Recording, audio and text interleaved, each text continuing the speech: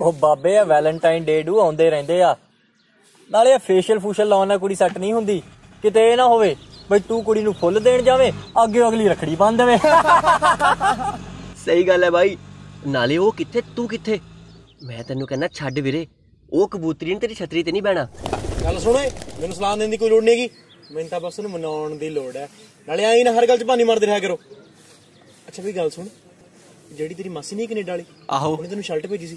ਬਾਈ ਜੋ ਦੇ ਦੇਣਾ। ਜੰਮੀ ਸਿਰਾ ਲੱਗਦੇ ਯਾਰ। ਉਹ ਬਾਬੇ ਉਹ ਤੇਰੇ ਹੱਥ ਨਹੀਂ ਆਉਣੀ। ਉਹ ਲੱਗੀ ਸ਼ਰਟ 3-300 ਦੀ। 3-300 ਦਾ ਕੀ ਹਿਸਾਬ ਆ ਓਏ? ਆ ਤੇਰੇ ਫੁੱਫੜ ਹੁੰਦੇ ਨੇ। ਫੁੱਫੜ ਜੀ ਪੂਆ ਤਗੜੀ ਆ। ਰਹਿ ਜਾਏਗੀ ਚੰਗੀ ਰਹਿ ਜਾਏਗੀ। ਨਹੀਂ ਤੇ ਜੱਟ ਦਾ ਵੀ ਕੀ ਲੈ ਜਾਏਗੀ। ਇੱਥੇ ਬਾਬਰ ਟਿਕਿਆ ਨਾ, ਤੂੰ ਤਾਂ ਫੈਨ ਹੈ ਬੀਬਰ ਦੀ। ਇੱਥੇ ਬਾਬਰ ਟਿਕਿਆ ਨਾ, ਤੂੰ ਤਾਂ ਫੈਨ ਹੈ ਬੀਬਰ ਦੀ। ਪੰਗੇ ਲੈਂਦੀ ਢੋਲਾਂ ਨਾਲ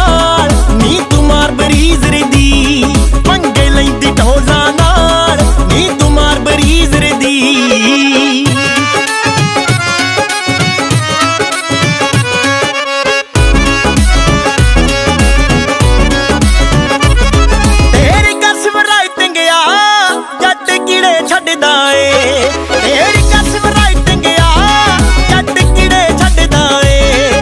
ਤਾਈਓ ਸਮਝਣ ਨੂੰ ਮੈਨੂੰ, ਤੈਨੂੰ ਸਮਾਂ ਪੈ ਲੱਗਦਾ ਏ। ਤਾਈਓ ਸਮਝਣ ਨੂੰ ਮੈਨੂੰ, ਤੈਨੂੰ ਸਮਾਂ ਪੈ ਲੱਗਦਾ ਏ। ਫਿਰ ਫਿਲਮ ਦਿਖਾ ਦੂੰਗਾ, ਦੇਖ ਦੇਖ ਲੈ ਟੀਜ਼ਰ ਦੀ।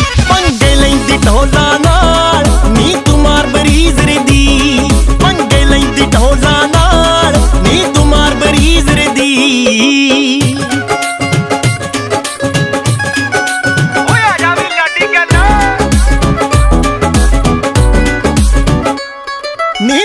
ਤੂੰ ਲੈਨੀ ਐ, ਸਾਨੂੰ ਚੈਲੰਜ ਕਰਕੇ ਨੀ।